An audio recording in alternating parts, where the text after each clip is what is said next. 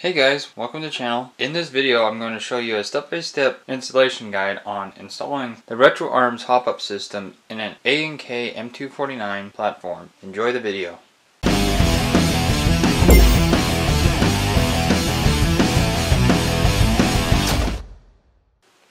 So in this installation you're only going to need a few tools. A 2mm Allen, 2.5 and a small flathead screwdriver. Okay, just so you guys know, with this new hop-up system from RetroArms, it uses a normal type hop-up or bucking. As you can see, we got a lip here, and then this is the hop-up that the original uses. There is no lip here. And so what the problem that's going to be caused is the barrel is going to sit further back with that type of bucking. So you have to use this sort of bucking so that the barrel sits seats in there correctly further forward or else your clamp won't, won't line up correctly to the barrel itself. Alright, first I'm going to cover all the parts that are included in your system here. So this is the block, your feeding block as I call it. This is going to wrap around the gearbox. This is a ball bearing which sits right in there with that spring and that set screw. And the purpose of that is, is going to press against this ring here and keep tension on that ring so it doesn't move while you're out airsofting. And of course, here's the hop-up unit itself. This little nut here, tighten the hop-up system down the, on the barrel. This piece here is meant to clamp the hop-up system down on your system here, just like that. So go together like this. I'll show you more later in the video. And that's what those two screws are for, is to tighten these ends down. So before we get started, we're going to get the feeding block assembled. You're going to take your feeding block, and a little hole there, you're going to take the ball bearing, drop it down in there. Then the spring, and then your grub screw. You're going to take your 2mm Allen wrench, go ahead and install it. So you'll run it all the way down until it stops, and that's it and it's ready to go. Now we can move on to the next step. Alright, we're going to start off with taking off the front barrel.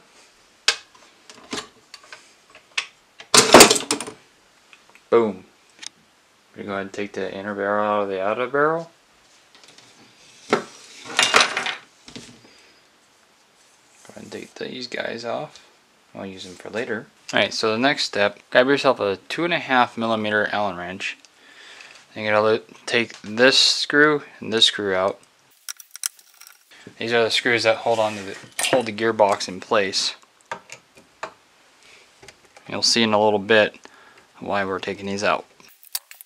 Take out the pin right here. And this is so that we can shift the gearbox back. Alright, now that you got your two screws out here and here, and your bolt here, we're going to go ahead and uh, take these two screws out right here and here. Now you're going to carefully push your gearbox back. You have to wiggle it a little bit to get it to come back a little bit. And you're doing this so you can get that block, this block out because you're not going to need it anymore. And you just grab it, pull it right out. You're going to take your uh, RetroArms feed block. In this orientation, you're going to stick that right in there. So you're going to slide your gearbox back forward again. Once you got it sitting in, just sitting in there, you slide it forward just a little bit. So it's a little bit of a snug fit, but once you get your gearbox forward, you bring your gearbox back forward and get it aligned. You'll have to peek through, through the mag well and it should just slide right on just like that. Once you get that there, then you can go ahead and push your gearbox back forward and then uh, move on to the next step. Alright, so now that we got the gearbox back in, you go ahead and put your pin back in your stock there.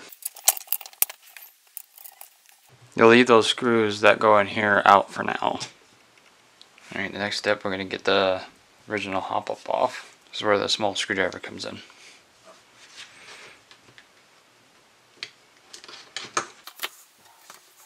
So you'll save this for later. So you'll take this O-ring off. you will not be using that O-ring. So you're going to pop this guy out, your hop-up nub, save that little hop-up nub there. Go ahead and take your bucking off. You're not going to you're not going to reuse this. You'll grab your favorite hop-up bucking. In this case, I'm going to use my reaps. Go ahead and grab your retro arms. Go ahead and slide your barrel in. Okay, once you get it in, you'll reuse your clamp.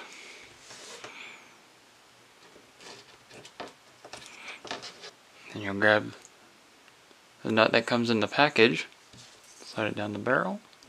It's going to clamp that hop up to the barrel. Does a better job than those brass rings that normally go in here. Grab a pair of pliers. Hold on to the barrel and the hop up unit. Tighten it down.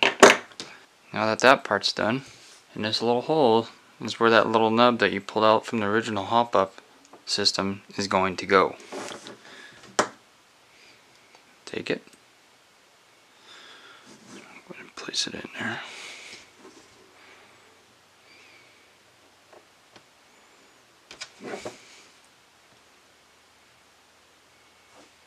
Just like that. You're going to take your the ring and place it over it.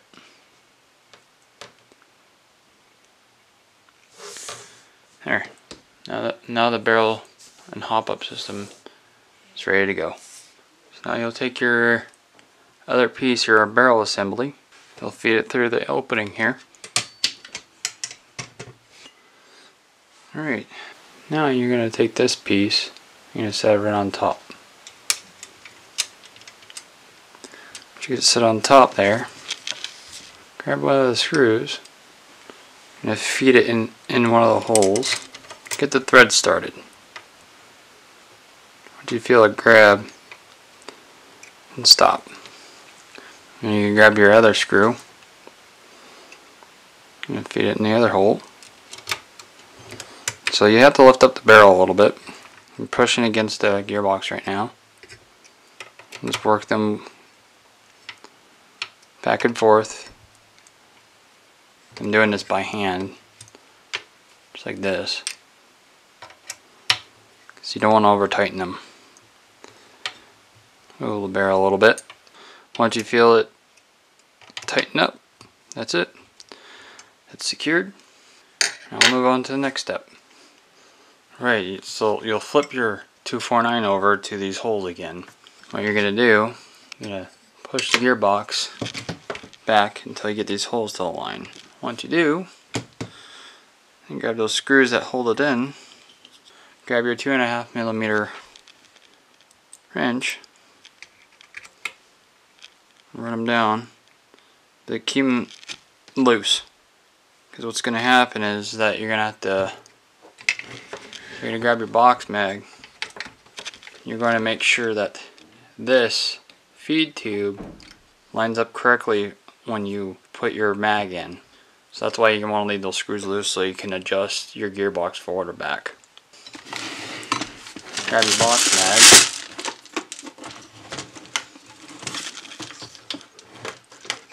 Go ahead and try and test fit it. Okay, so right now it's not going in. And that's probably because it needs to get the gearbox needs to get pushed back a little bit, which in turn moves that piece back. So I'll take it out. Take your little flathead screwdriver. That might be it right there. Or it might be too far forward, or too far back, so we might have to go the other way. just keep getting it, keep trying until it pops in easily. It should pop in easily. Right now it's not push it back forward.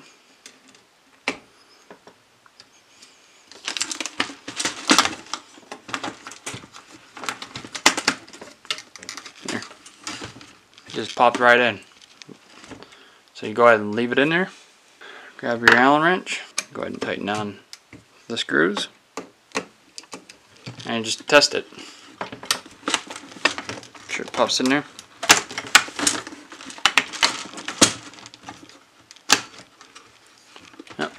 Went in there nice and easy. There you go. We'll go ahead and move on to the next step. We're almost done. Alright, so now we're going to put the barrel back on. Just so you guys know, putting this back on, the barrel won't snap in together because this hop-up system's a little bit longer than the factory.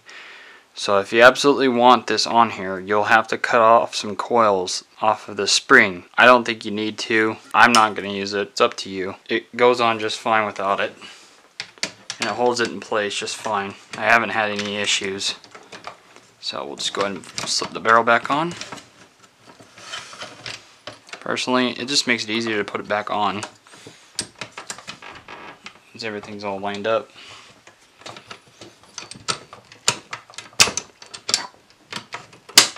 There you go. It. She's in. Grab the dust cover or the heat shield. Tap that on. There you go. It's all in. And that's what it looks like when it's all together. So if you guys enjoyed the video and have any suggestions, comments, concerns, or anything like that, feel free to leave a comment down below. Give the video a like. Hit that subscribe button. And I'll see you next time.